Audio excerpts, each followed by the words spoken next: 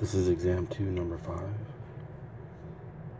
You're asked to solve for D in this equation.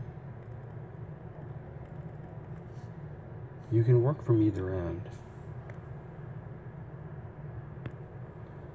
We have to get D by itself. We can't multiply in the middle, so we can either work on the left end or the right end. So let's multiply the left end by A. So A goes there and A goes here, the left end of both sides. We get A, A, B, C squared D, B inverse A equals, put the same A here. It has to be on the same end of both sides. I'm sorry, I don't want to use A. I want to use A inverse. I apologize. A inverse multiplied by A inverse here and here.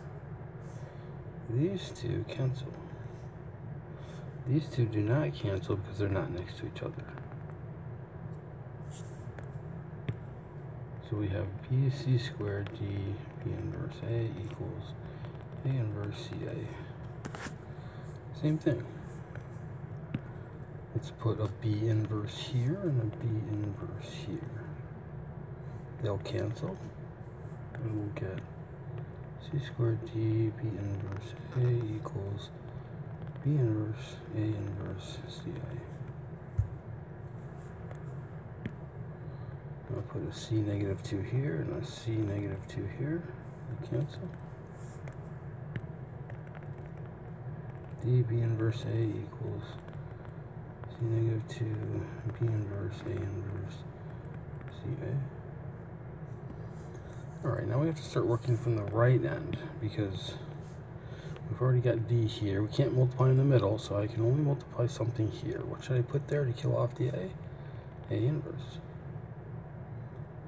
If I put it on the right end of the left side, I have to put it on the right end of the other side to keep it balanced.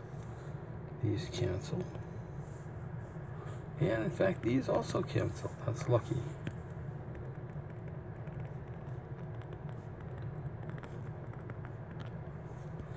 And we only have one thing left. To get D by itself, I need to put a B here and a B here. These cancel. And I'm left with D equals. That's the only possible answer.